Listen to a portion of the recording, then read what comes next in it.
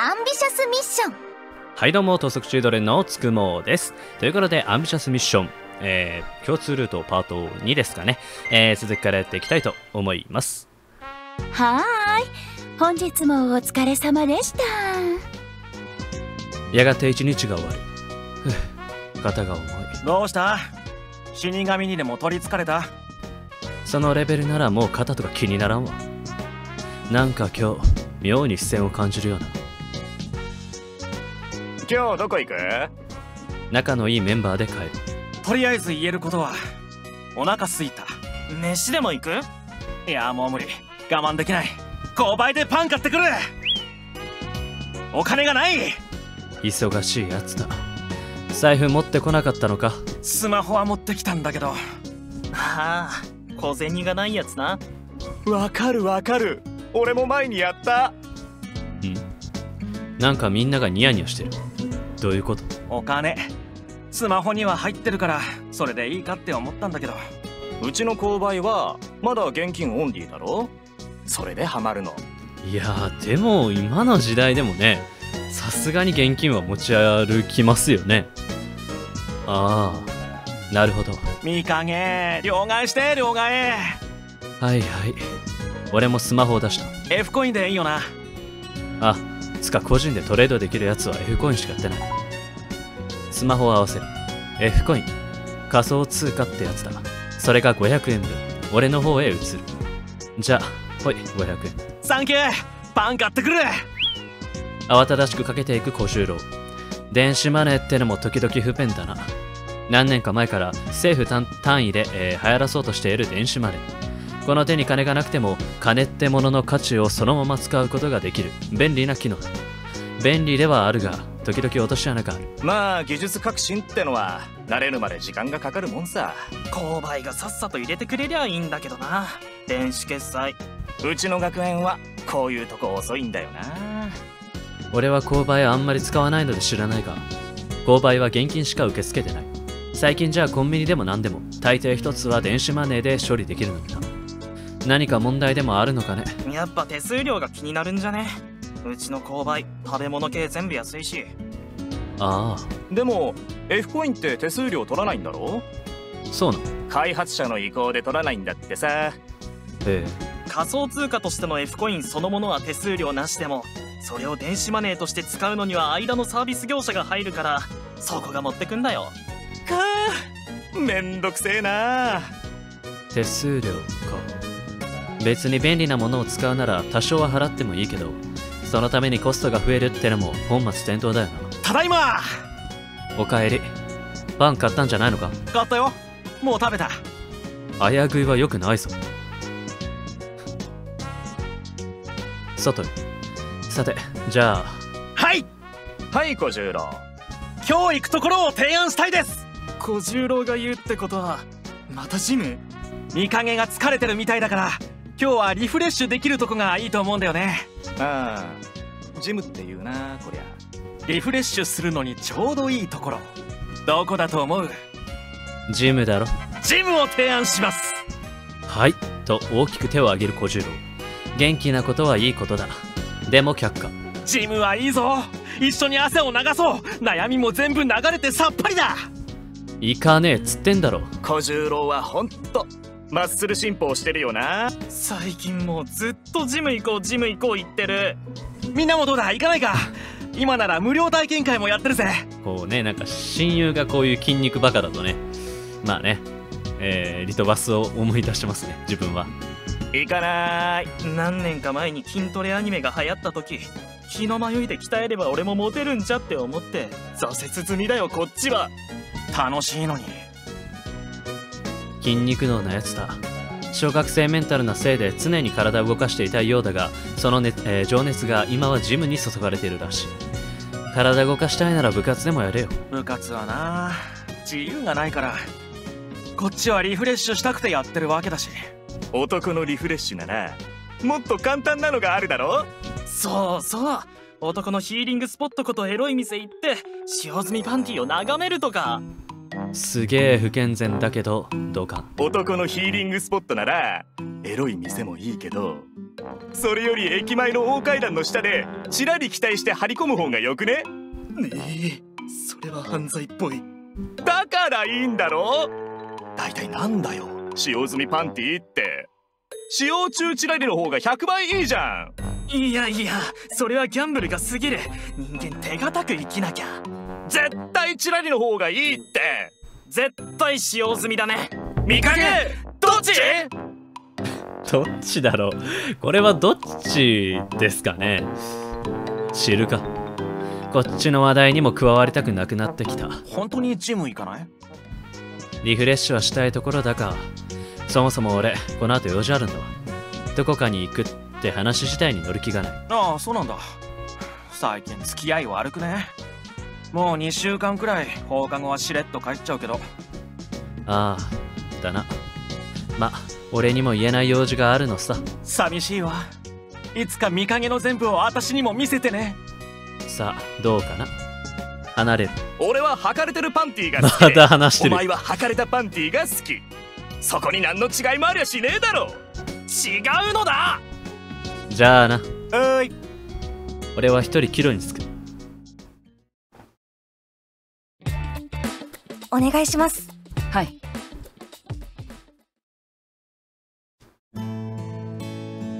ちょっと遅れがちかな。早足気味に家に帰る。戻ったら速攻で服を着替えた。上はシャツで下は中学の頃のジャージ。つまり汚れてもいい格好。ですぐに U ターン。ここまで戻る。5時ちょっと過ぎいい時間だ。対象テレビ塔前で発見しました。うん。工事看板の中へ入ります。チュアースおうお疲れさん。今日もよろしくお願いします。現場へ着いたらお礼用のつなぎを着ていく。ヘルメットに安全帯。安全帯かえー、小十郎曰くもう2週間だ。っけこのバイトを見つけてから。さすがにもう慣れたものだ。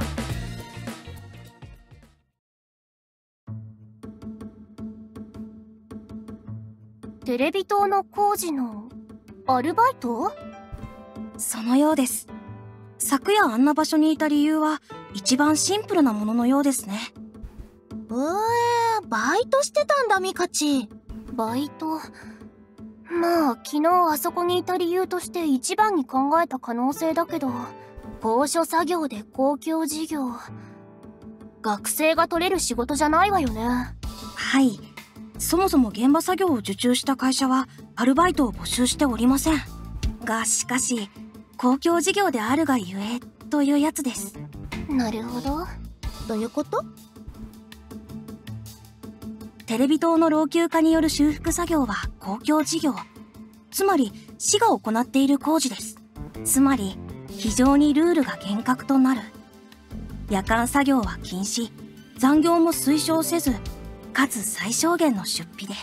加えて納期が厳しいですから、現場の人間としては、多少のルール破りは必要になる口の固い人間なら非正規の人間でも借り出して夜間でも危険な高所で作業を進めるくらいに。はい。うわっと。うわちう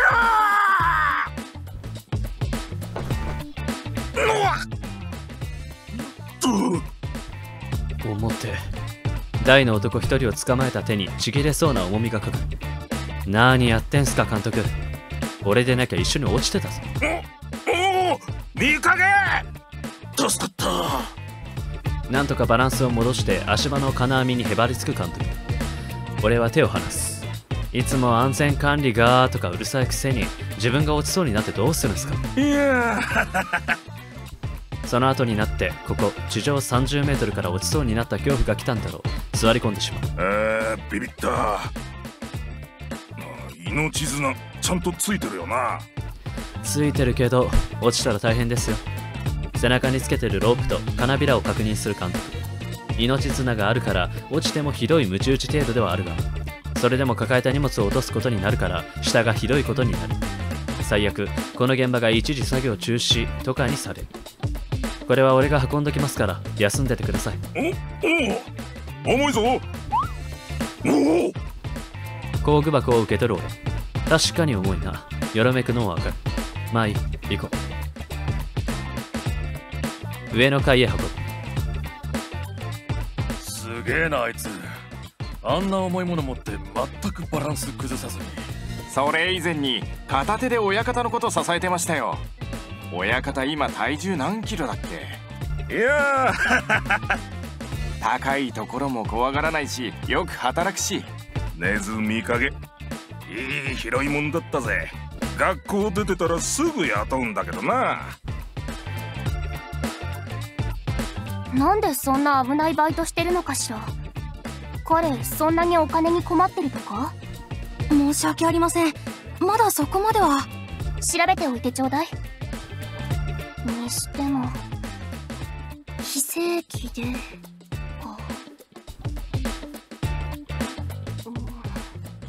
悪いことしたかしら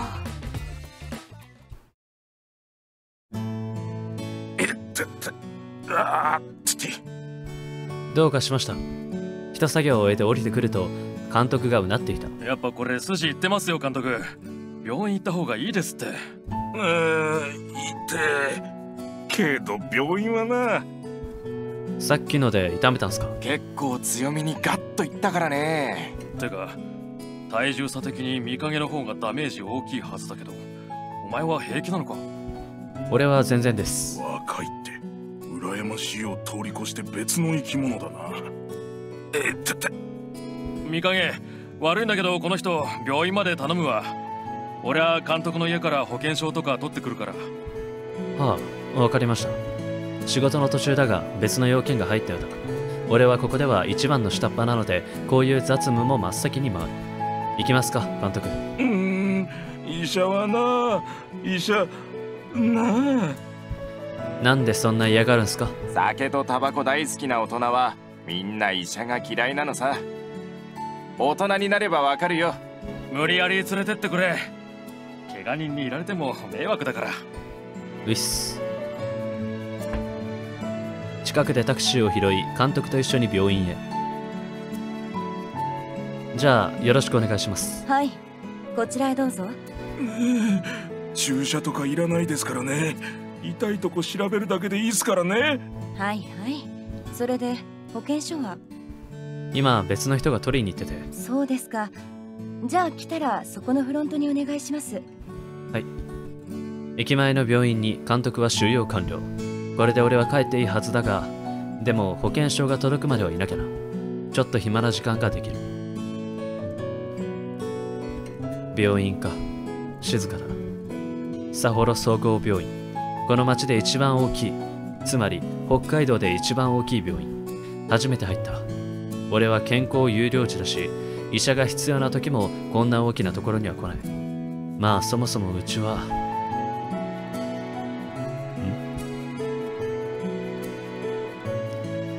おう。なんだこれ。病院の中だよな。内部にでかい公園がある。リハビリ施設ってやつか。すげえなでかい病院って。公園のようでありつつ景観とかよりも実用性重視で自販機とかもちょいちょい置いてあるし。いいなこれ。住みたいレベルだぞこんなところなら。とか思うのはさすがに不謹慎だろうか。でもいい感じ。ちょっと見させてもらおう。この時間帯はもう就寝時間のようで誰もいないし。お久しぶりです兄さん。意外とお元気そうでお元気そうに見えるか？坊主。ただの挨拶ですよ。足からず誰か話してる。男が2人。結構なじいさんと4 5 0くらいのおっさんだ。ここの患者だろうか？私もまだまだ若い気じゃいるんだが長距離の移動が億劫になるのには年齢を感じますよ。そうか。あのひよっこがそれじゃ俺も年を取るわけだ。とはいえまだまだひよっこに見えるからお前さんを見ても年のことはどうも意識できんのだよ。やり合ってるな。静かだけど喧嘩してる。こうなるとゲスな話だが興味が湧くのが人,、えー、人情ってもんだ。取っ組み合いになったら止めなきゃだしな。様子を見る。どうも歓迎されていないようだから早速要件に入るが何が言いたいかは当然分かっちゃいますよね。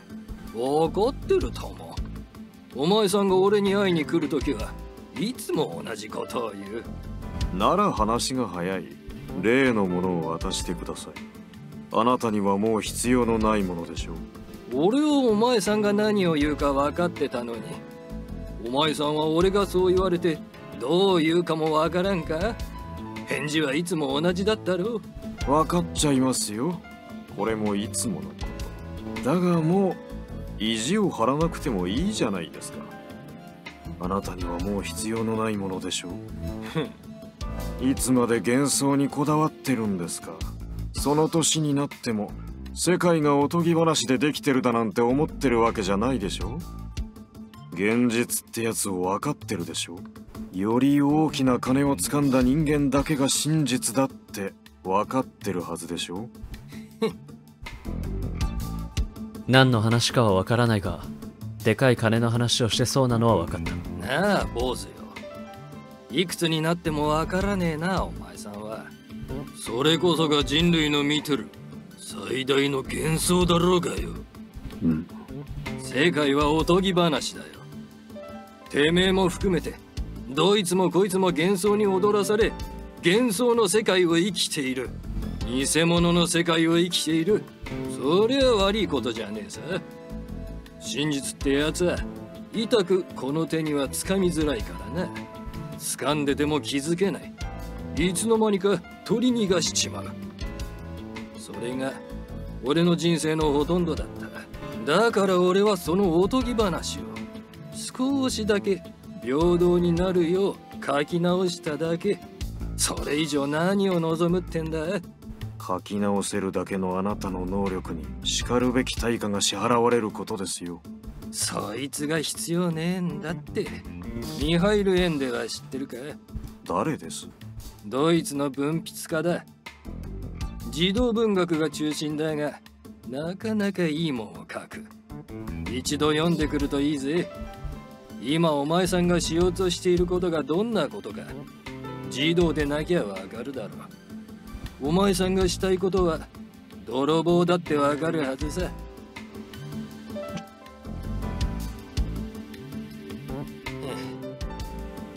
まあ息子をあんな風に育てちまった俺が言うこっちゃねえけどよ。お前さんもそろそろ大人になれ。息子に何も残してやれなかった俺の唯一できる忠告だ。話は終わりか？俺はもう行くぞ。あまり部屋を抜けてるとまた不調に叱られる。俺は諦めんぞ兄さん。そもそもあれはあんただけのものじゃない。姉さんと二人で作り上げたもののはずだ。姉さんが亡くなった以上あんたが独占するなんておかしいじゃないか。弟の俺にも権利はあるはずじゃないか。いつまでも俺の姉さんを奪って亡くなった後も独占しやがって。いつまでも姉さんを。いつまでも。そりゃ権利はあるよ。だからもう20年も前に教えたはずだぜ。あの幻想の基盤はお前さんが欲しがっているものはアイヌの子守歌だと。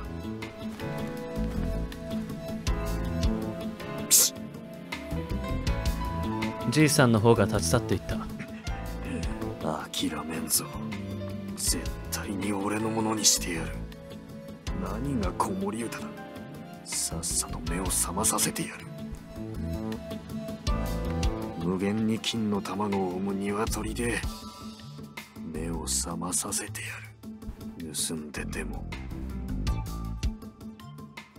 もう片方も逆方向へ。こっちは外へ出ていくみたいだな。えっ、と今のは聞かない方が良かったかな。ほら。いやビビった。こんなところで何してますの？消灯の時間はとっくに過ぎましてよ。特に大人同士のお話を盗み聞きなんて。すすいません。あら？立ち上がる俺といきなり後ろに現れた彼女はきょとんとして。大きいですわね。俺を見上げてきた。小児病棟の子ではない？そこまで子供じゃないです。あらあらあら。ごめんなさい。隠れるようにしていらしたので私ったらてっきりまた小児病棟の子たちかと照れた風に言う彼女。まあもう暗いしパッと見て子供と見間違えたのも仕方ないだろう。何せ身長の縮尺とか彼女には分かりづらいだろうし。ずっと座っているだろう彼女には。失礼しましたわ。キコキコと車輪を鳴らして少し下がる彼女。車椅子だ。病院の中なら珍しくはないだろうけどこの若さで車椅子それであなたは？外来は終わっている時間ですが。知り合いが緊急で俺は付き添いです。そうですの。ではご存知ないでしょうが。この中庭は今のお時間使用禁止ですわ。ああそうなんすか。すいません。と言いつつ私も入っちゃってますけど。いたずらっぽくウインクする彼女。かわいい。とにかく出た方がよろしいですわね。あでもちょっと待って。先に中へ入っていく彼女。おじさま？そっちはダメですわ。おおアテナの嬢ちゃん。抜け出したのもう不調にバレてる？バレてますわ。さっきから怒って探してましたよ。やべえ。明日のご飯にまたピーマン増やされちまう一緒に参りますわ。私と観覧していたということにすればワンチャンでしょう。頼ま怖えんだよあの不調。二人入院病棟の方へ引っ込んでいく。途中彼女がちらりとこっちを向いてまたパチリとウィンクした。ふう俺も中に入る。あのじいさんに盗み聞きしてたのはバレてなかったよな。助けられたなあの車椅子の美人さんに。おい見かけ。あはい。そこで知り合いと合流する。どこ行ってたんだ？ちょっと探検に。監督は？どこも異常なし。湿布貼ってもらって終わり。戻りますか。ああそうですね。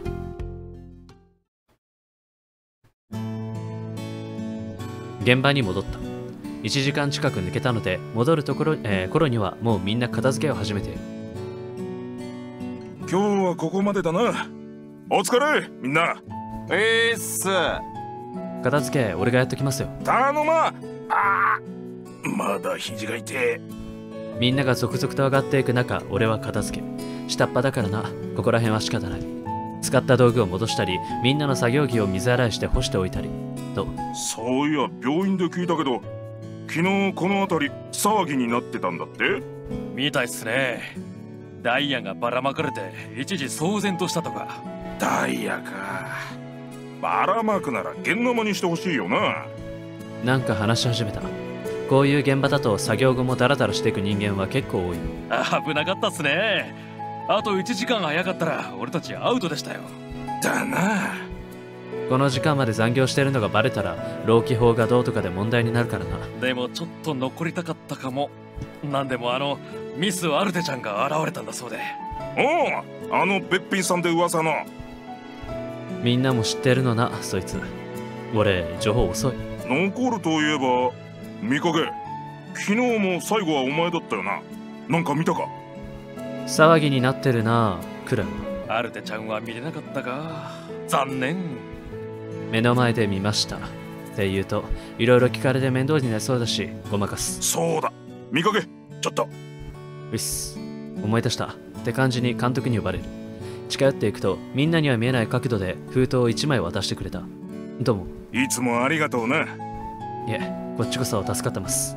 中には千円札が数枚。約束より2000円くらい多いっすけど。病院の付き添いありがとうさんの分の小遣いだ。持っとけ。どうも助かる。給料ちょっと色をつけてもらった。これは本当に好意ってやつだ。これは給料ではなく小遣いだからな。この現場で働いていることは否定しないが俺は今厳密にはアルバイトはしていない。偶然この場にいただけである。そして俺がいたことで不思議と工事用のついたての奥では仕事がはかどり俺は特に理由もないが監督の行為で小遣いがもらえる。それが俺がここにいるシステム。契約書はおろか労働の約束すらない。だが俺はちゃんと働くし監督もちゃんと給金を払う。ただ回答が出たとなると警察大丈夫っすかね？おまわりは平気だろうが上がどう言ってくるかだな。黙認してくれるといいんだが。言うまでもなく違法である。工事の雇い主である行政にバレたら社会全体の問題になるし俺もただじゃ済むまいそれでもこんな汗臭い現場にスーツで働く人間は目を向けないものだが。何せ昨日はスーツの人間も思わず目を引く。華やかな怪盗さんが現れてしまった。明日からはどうなるかな。お前には本当できるだけいてほしいんだがこっちも会社の都合がな。もちろんです。うるさく言われそうならすぐに切ってください。悪いなあくまで通りすがりの俺と小遣いを渡した監督だ。もし文句を言う人間がいたら全力で無関係だと言い張るべきだ。俺にとっては苦しいとこだけどな。市の連中もここの工事にはメンツやら諸々が関わってるそうでよ。何せあの有瀬家からの提案で始めた補修工事だし。有瀬家いきなり知ってる名前が出てくる。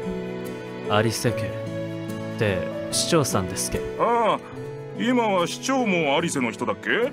県警の本部長もテレビ局の頭取もここのゼネコンなんて管理してる7割に有瀬家の息がかかってるから。いろいろごっちゃですよね。何？ま市全体が気を使う一族ってこった。敵に回すことがありそうなら諦めてくれ。うっす。仕事を終えて家。疲れた体力はある方だけどさすがに学校終わりに肉体労働がっつり5時間はきつい。でもこうでもしなきゃ金が稼げない食費をはじめとする生活費は市が出してくれるけどそんなものは最低限。もっと大きな金が必要となったら働かなきゃ。多少イリーガルでもな。だから明日までにまとめとけって。明日来る営業の人有瀬家の息がかかってるんだよ。もしうちの商品が売り込めたらそれこそうちが有瀬の取引先になれるんだぞ。何億の商談なんてもんじゃねえよ。会社の格が変わるわ。有瀬家。有瀬家の人間ならこんな苦労しないんだろう。地道に金稼ぎとかましてや違法なことなんて。違法なことなんて。やれやれ。ラーメンでも食べて帰るか。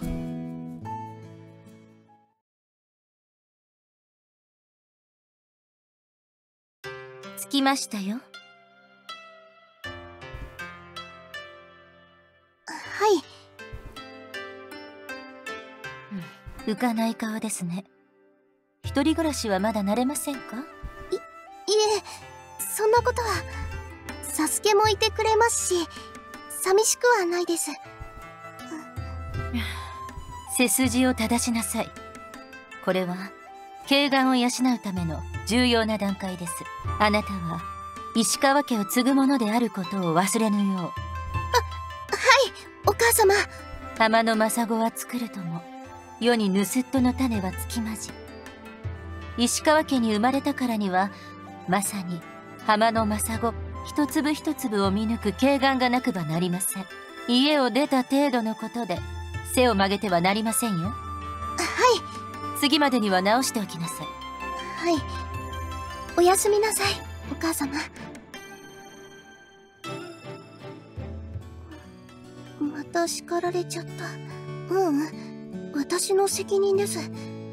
私がいつまでもおどおどしてるからいい加減一人暮らしにもなれないと。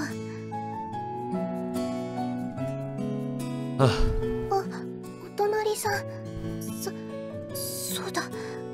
一人暮らし。せめてお隣さんとくらい仲良くならなくちゃ。ここんばんは。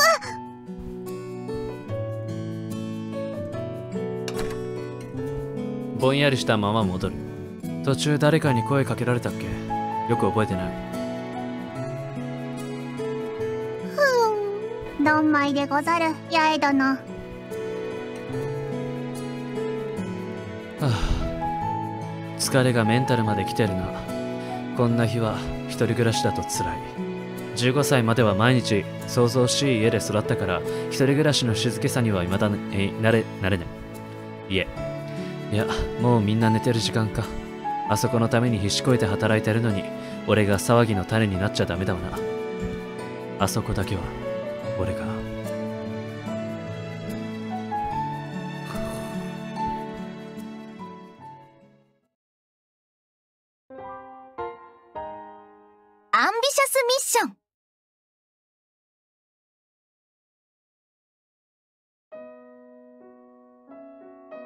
はい、えー、というところで今回はね、えー、時間も時間ですし以上にしたいと思います。よければチャンネル登録高評価よろしくお願いします。では最後までご視聴ありがとうございました。